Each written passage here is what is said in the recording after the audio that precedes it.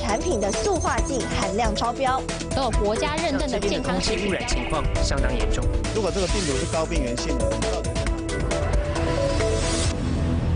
您好，欢迎收看《今夜说新闻》。在上个星期五，在新北市淡水沙仑的海域，不幸发生五名学生溺毙的意外。今天我们节目的主题要讨论的就是沙轮溺水醒思。我们还原事件发生的经过，告诉您如何避免危险。首先来看我们的报道：沙轮海边卷起两公尺大浪，才刚发生国中生溺水死亡，就有这么一群年轻人从桃园北上，说是要来玩水。新闻写说有人溺溺水，嗯，有，嗯，为什么还会来？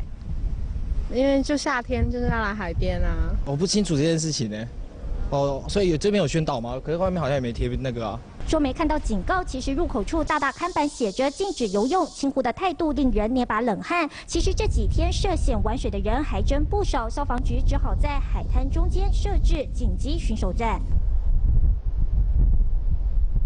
小朋友蹲着堆沙，海巡人员赶紧确离，没多久又跑回去，因为触目所及，海岸线就有一点六公里，仅有一个紧急站，如何防堵？你们戏水的底线到底是什么？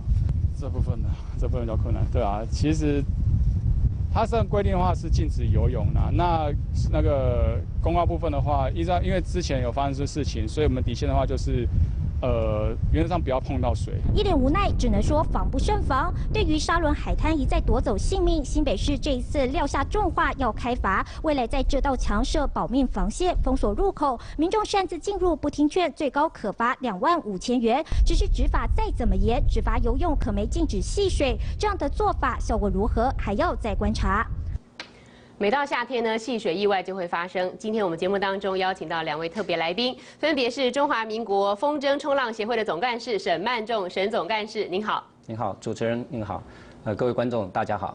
一位来宾是呢新北市消防局的灾害抢救科的专员严一佳严专员，您好。啊，主持人好。观众朋友，大家好。是，首先想请教总干事哦，那天呢，您也是在现场救人的一一个英雄哦，能不能谈一下当场这些学生是发生了什么事情？而且据说您是在之前都有提醒过他们不要去那个地方，那个地方是属于危险的区域。是的，嗯，呃，事情是这样发生的，就是在当时我们在做教育训练的时候，突然有两位学生就走过来。他们其看起来就是神情很疲惫了，走过来说：“可不可以帮我们一下？我们的有同有同伴在游游在海里面游不回来了。”嗯，那当时我就说在哪个地方？他已经有点恍神了，他说不知道。那我就问他说有几位？他说有十位。我一听我我愣住了，我想到想说怎么可能有一次十位同学？我再问他一次在哪里？他说他不知道。然后我再问他说有几位？他说十位。我回头一看，我竟然在海面上看不到半个人。那当时呢，呃，我就问他说大概在哪个方位，然后呢，在就就当时我就立刻请在旁边的其他我们的就是伙伙伴，呃，一部分的人去另外一边去叫人来帮忙，另外呢一部分的人赶快报案。那当下我就拿了个风筝风筝的装备，就赶快冲下水去。嗯在这个过程，我就看到有一个人已经在大概距岸大概三三四十公尺的地方，已经沉到半沉在水里了。就通知伙伴先把那个人拖回来，然后呢，我们再赶快出去，就是到下风处去叫其他的同伴，因为我一想到我一个人怎么可能带其他的九个人，嗯，所以在当下我就冲到下风处去，赶快请其他的同伴一起到外海去搜寻，嗯，在这个过程当中，我们搜搜搜寻到了三位还漂浮在水上，嗯，哦，所以是。也就是因为他们是漂在水上，所以才被救起来。是的，这是一个，我觉得这是一个很重要的一个关键点。当时我们发现他们的时候，呃，这些小朋友其实他们都已经就是只剩下一个，只剩下头漂浮在水面上，感觉上就是已经没有力气了。当我们靠近他的时候，他基本基本上连伸手求救的声音、机那个力量都没有了。那距离外海，这距离岸边已经有两百公尺远，嗯，所以他们就是遇到很强的一个离岸流。那这个过程呢，就是很很短的时间，因为从我们发现呃发呃发现他们到外面这个，因为我们的载具从呃活动呃机动性很高，所以大概也只花了不会超过一分钟的时间就到他们的身边去。嗯。那但是我我怀疑事后他们有在提到说他们是十二个人在水里玩水，我们其他的风筝同伴也曾经劝导他们赶快上岸，不要那么深。嗯，他们是在玩，大概在水中戏水，就是玩手牵手、冲浪那个跳浪的游戏。嗯，那我们同伴有过去说，他们说不要太深，不要太深，有警告过他们两次。嗯，那所以当第一时间我呼叫他们的时候，他们大概就知道，我手一比，我说这样子，赶快往外比，他们就知道有人溺水。嗯所以当时我们就赶快冲出去。那当然，这个他们这些能够被我们发现的这些小朋友，呃，基本上他们还保持一个，就是说头部能够向上。我觉得这是一个很重要的关键。在遇到危急的时候，是的，最正确的反应。其实基本上他们可能也已经精疲力竭，不过他们也是尽力保持头部在上面而不慌张。嗯哼哼哼，是的。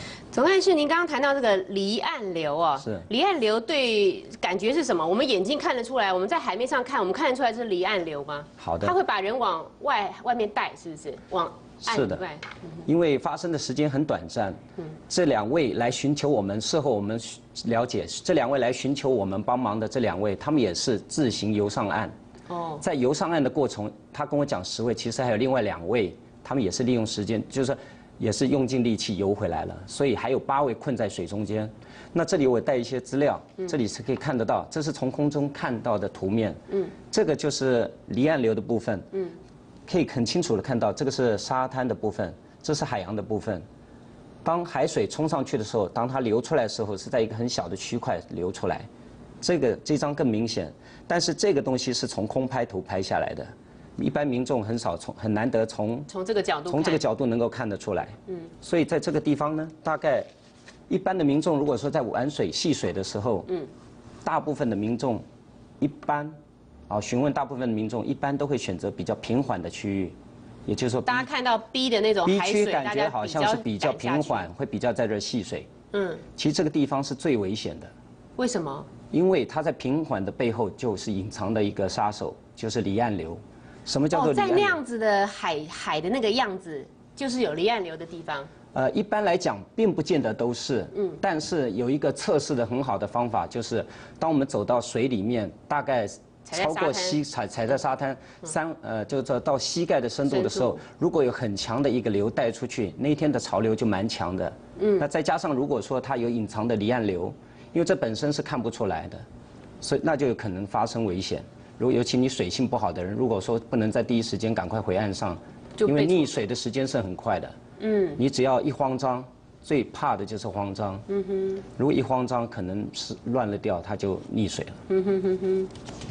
那待会儿再跟各位大概介绍一下这个所谓的离岸流，它是大概是怎么样子的一个状况。嗯哼，好，我们先请教一下这个严专员呢。这次这个学生这个获救，就是因为他们有几个会想要把自己漂浮在水上哦。那您也会跟我们谈到这个，比如说要这个救溺的一些自保的这个方法，可以跟我们讲一下。是，像有时候像沙仑海水浴场哦，会发生溺水的案子，通常都是踩空。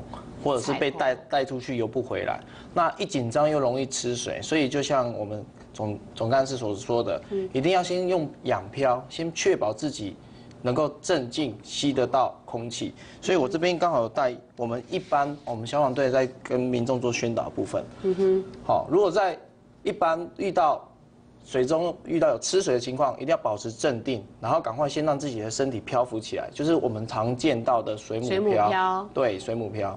那如果是因为抽筋呢？因为有时候在溪流的部分，它有时候岸上的水温是高的，可是往深的地方玩的时候会遇到比较冷的部分，所以容易抽筋。温度的变化会让身体抽筋，所以这个部分抽筋的话，如果小腿抽筋有小腿抽筋的自救，大腿抽筋有大腿的自救。那重点就是吃到水的时候要保持冷静，哦，会呛到一下，但是先做个水母漂，让自己。身体浮上来，然后找空档来呼吸。嗯哼，好，这是这个部分。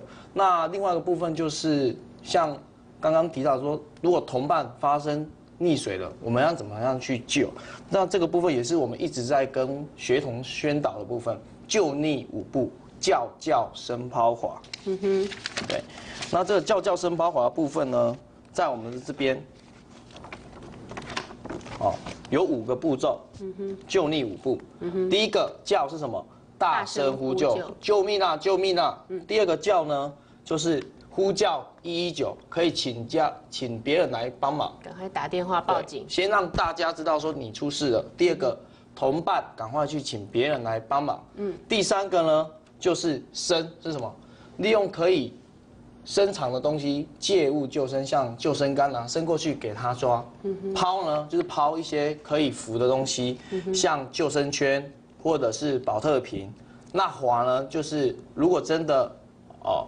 很危急的时候，有船艇或者是比较好的救生圈划过去，然后把东西再递给他。有时候长度不够的话，伸啊，这个长度不够要划过去，然后再把浮具。啊，递给我们的逆者，嗯哼，啊，这是我们的救溺舞步。嗯哼，刚刚谈到这个大型的这个漂具可以划过，大型的浮具划过去救人哦。那我想到说，呃，这一次这个风筝冲浪协会，因为你们可以在有即使有暗礁的浅海，你们还是可以过得去，好，会比一般这个船艇这个跑出去的机动性来的强哦。所以也是，就是好像这次呃消防局也觉得说，哎，可以把冲浪协风筝冲浪协会纳入一个呃。救难的一一员呢？那谈一下，就是因为你你们常常在这个水上面活动哦，所以对于这个风浪啊，或是水这个水啊潮汐的改变，一定是比较敏感的哦。那你们通常是怎么样的判断？然后怎么样来活动？给大家一点这个经验的那个分享。好的，我想重点呃，这我先放在一个刚才专员所提到的一个第一个叫。这一次发生的原因，在第一时间的时候，这两位来寻求支援的小朋友，其实他们大概是体力已经透支了。嗯，在第一时间，他并没有说很大声的喊呼救。那当我们当他来跟我们讲的时候，是说只是说他们的朋友在水里。我觉得有不知道有没有措施第一时间呢？嗯，不过因为并不知道他上来到找到你们中间隔了多久。是是是，不过还好，在外面救援到的这几位，他们保持体力。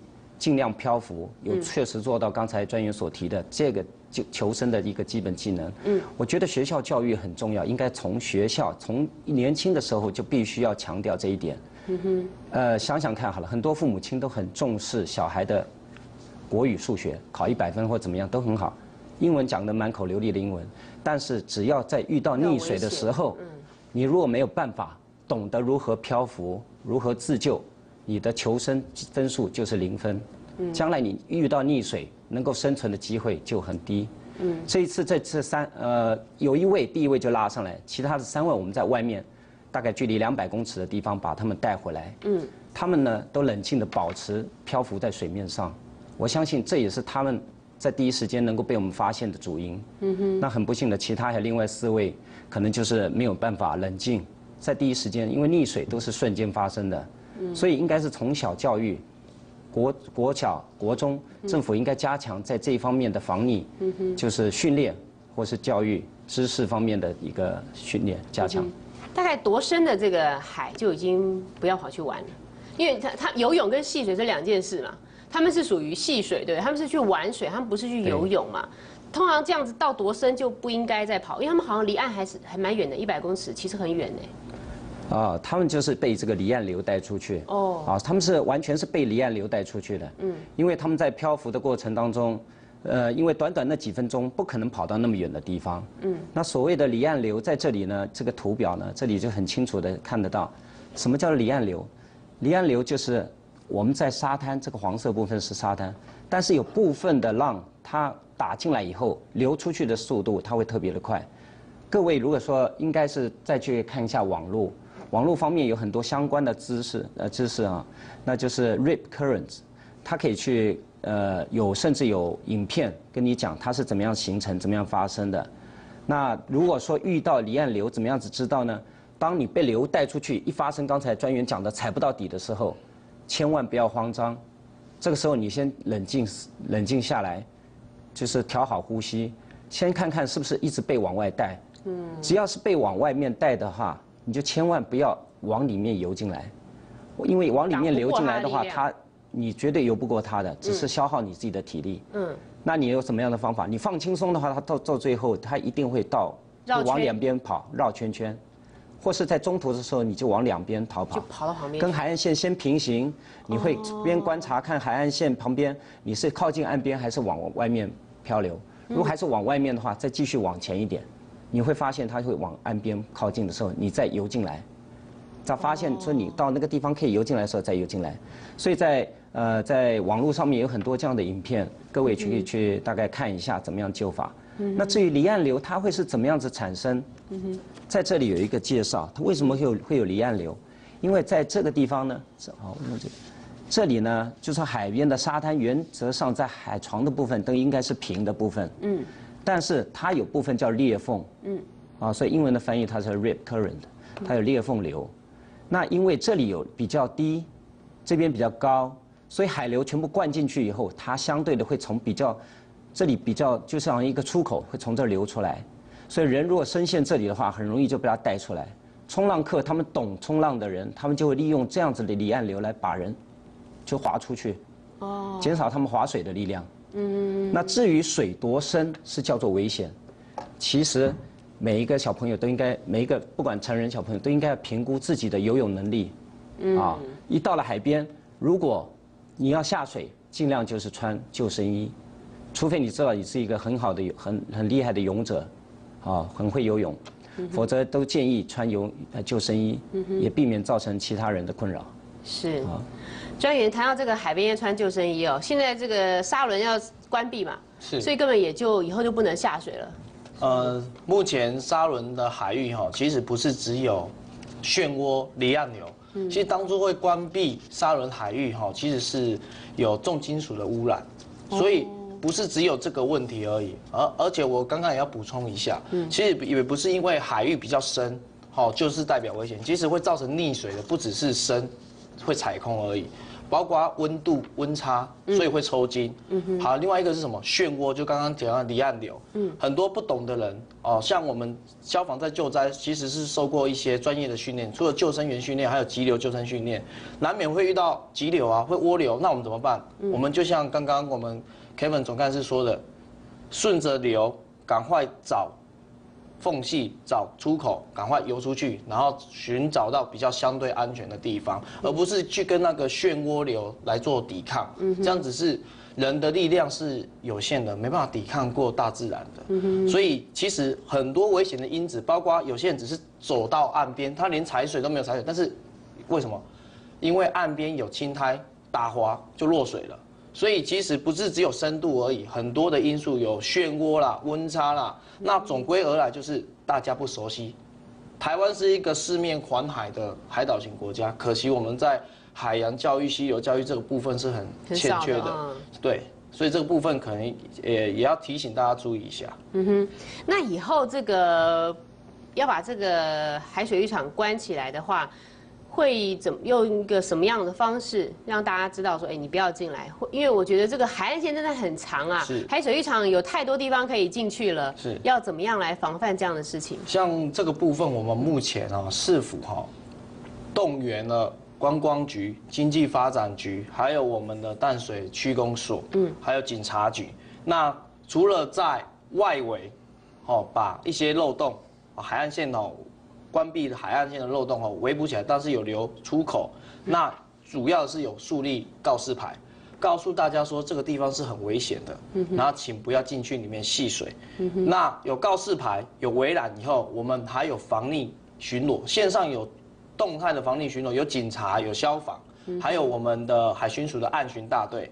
那另外还有驻点。因为我们在巡逻的时候，有时候民众可能会趁空档嘛，趁虚而入，所以我们其实有设一个防溺警戒站，是由我们消防还有我们的海巡署来联合进驻。那只要有发生发现民众进去里面玩水的部分碰到水了，我们就会赶快先吹哨。那我们就秉持哦几个原则，第一个就是强力巡逻，第二个就是积极劝导。嗯哼，那。劝导以后屡劝不听，第三个就是违规，一定开罚啊！毕竟人命关天。嗯哼，是谈到这个沙轮，它这个是有一点危险的，因为你刚刚说它有一些暗流啊什么，它已经它早就在列在我们台湾这个十大的危险海域了。还有哪一些可以帮我们补充说明一下？这边刚好有整理出台湾的十大危险海域哈。那我们可以看到，像基隆的和平岛、石门哈、石门的这边哈白沙湾，抱歉。那像我们。彰化王宫渔港啊，台南的安平港，以及我们花东的七星潭的部分，那这些其实它其实看起来风平浪静，没什么浪，可是有时候就是因为我们不熟悉，或者是民众轻忽了它的危险性，所以造成溺水。那这边也是借此呼吁大家说，尽量去有救生员进驻设站的地方玩水。嗯哼，好，因为救生员会进驻设站，表示我们把风险相对的把它降低了，而且第一时间你在呼救的时候，马上就有人过来来帮你。好，以上。是，呃。总干事，我知道这一次这个还好，第一时间有找到你们啦，所以第一时间可以救上来这么多人哦。是。那你们平常在那边训练，为什么会在那个地点？它那个地点是因为一定要有一定的深度，你们才可以来做，还是说它的潮潮风啊非常大，所以让你们可以把这个风筝这样带上去？那个地方是？本身就是一个危险的地方，是不是？让你们可以啊，没有，呃，风筝冲浪本身就是利用风力来带动风筝，然后提供一个动力来踩板划水。那这个东西它本身就是一项呃需要风量够的地方，但是偏偏就是风大的时候，就风大就会起浪，有浪就会有流。嗯，所以其实我们玩风，就是说在风做风，就是说在风筝冲浪的时候，常常也可以碰到有些民众，其实他们已经有点流到外面去了。我们也曾经帮过很多的人被这样流出去，但是再帮他们把他们拉进来。嗯嗯。只是说，因为这些人都没有发生过事情，所以，呃，就是很多人就是让带他们进来而已。嗯嗯嗯。那相对的，就是说，因为这个环境它必须要有风，所以常常就是，我们也只能选择沙滩的地方嗯做训练。所以就是说，当天我们是选择是在沙轮。哦。是。所以海边风大浪大就是一个危险的因素。那通常你们要怎么样判断？比如说像我们还还有教我们说，我们玩戏水的话，注意这个海象是涨潮还是退潮。这时候你们要怎么样判断？哦，这个要感谢中央气象局，现在都有很很多的资讯，涨退潮的时间点，它都很精确的标示标示出来。每一个台湾各各海域，每一个地方，它都有这样详细的资料，涨潮资料、退潮资料、浪高。这些相关的资料、风力的资料都有很清楚，嗯哼，中央气象局都有。所以其实如果要去海边玩，自己还是要做一点功课哈，你要了解你自己到那个地方那是一个什么样的情况。是的，嗯哼。您刚刚说其实已经救上来很多人哦，就是常常就是发生他带出去这种情况。是的。呃，对于这次可以赶快加入这个把他救回来，虽然你们一直觉得很遗憾啊，说因为有一些孩子还是往生了哦。是。可是这次可以。呃，大家这么借重你们这个救灾的能力哦，那未来你们有没有想打算也要一起发挥一下这样子的功能？呃，其实我们在各地有很多的会员，有很多的就是风筝冲浪的这些同好。嗯。那其实，在各地都常常有听得到救援的这些行动。嗯。只是说，像呃之前在新竹，这些都发生大概不到一个月内的事情。呃，最近的一两次，一次就是在上一次永安渔港。曾经发生一部游览车救一个溺水者，后来又用救护车又被撞，那位也是被我们风筝冲浪的，呃会员救起来的。啊，那另外一次在新竹也有一位玩水的戏水者，但那位也没有事情，就从外面把他拉进来而已。所以，因为我们就是刚刚所说到的，必须在有风的地方，我们才会去那儿活动。那相对的就会有浪，那就会有流。那就会有戏水的人，他们可能就发生这样的事情。你看活着的这些学生是不是也很内疚一辈子？啊，总之这个出外这个意外真是非常多。今天感谢两位来宾来到节目当中，也谢谢您的收看，我们明天同一时间再会。谢谢。